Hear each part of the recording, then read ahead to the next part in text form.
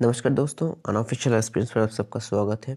दोस्तों थंबनेल देखकर आप लोग को पता चल गया हो कि आज हमारा टॉपिक है राजस्थान पटवारी का नॉर्मलाइजेशन स्कैम या फिर कोर्ट केस का अपडेट क्या है।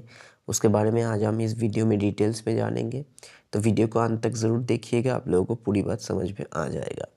लेकिन उससे पहले जो लोग नए हो, चैनल को सब्सक्राइब कर देना। जैसे कि आप लोग यहाँ पर देख सकते हो हम ऑल ओवर इंडिया के किसी भी एग्ज़ाम का कट ऑफ़ का एनालिसिस करते हैं, जैसे कि Rajasthan, Punjab UPSC west Bengal police Haryana Mumbai Chhattisgarh UP W का प्रीली का हमारा कट ऑफ़ बिल्कुल मैच हो गया। इसके अलावा राजस्थान का जो पटवारी का रिज़ल्ट है, उसका भी कट ऑफ़ हमने एनालिसिस किया है और रिज़ल्ट डेट भी हमने बता दिया है। इसके अलावा मैथ शॉर्ट ट्रिक्स जी के जी आई करंट अफेयर्स सब कुछ आप लोगों को हमारे चैनल पर मिल जाएगा।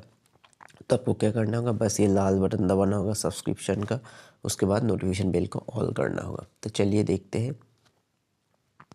ये देख सकते हो, पटवारी भर्ती में नॉर्मलाइजेशन प्रक्रिया अपनाने पर जवाब तलब।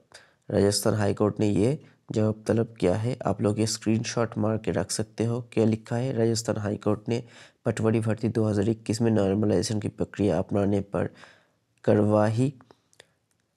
किया है तो सचिव को तलब किया है यहाँ पर। सचिव से जब जवाब तलब किया है बोर्ड की सचिव से तो इससे क्या होता है, इसके बारे में अगले वीडियो में हम जानेंगे कि कोर्ट क्या करता है नॉर्मलाइजेशन में। तो आप लोगों को पता है कि स्कैम हो सकता है यहाँ पर नॉर्मलाइजेशन की प्रक्रिया में, थोड़ी गड़बड़ी हो सकती है। तो इस बारे में कोर्ट ने क्या फैसला दिया है या क्या फैसला देगा आगे जाके।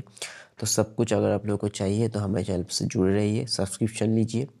मतलब कोई भी पैसा नहीं देना होगा, आप लोगों को बस सब्सक्राइब करना होगा, लाल बटन दबा के और नोटिफिकेशन बेल को ऑल करना होगा। तो वीडियो आप लोग यहाँ पर स्क्रीनशॉट मार के देख सकते हो।